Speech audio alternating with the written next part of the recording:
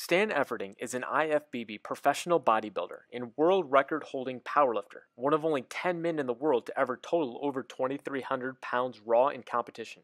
Here he is on a recent podcast talking about the importance of sodium in your diet.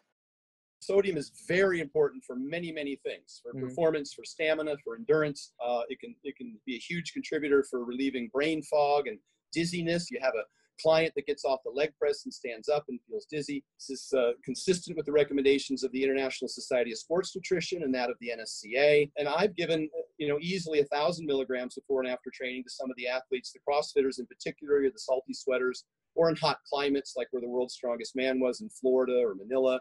That's a half teaspoon mm-hmm. of salt. It's a very small amount when you look at it has a dramatic effect on performance. I take it as a pre workout. I work out longer, harder. I can sweat more. I don't get tired. I don't hit the wall.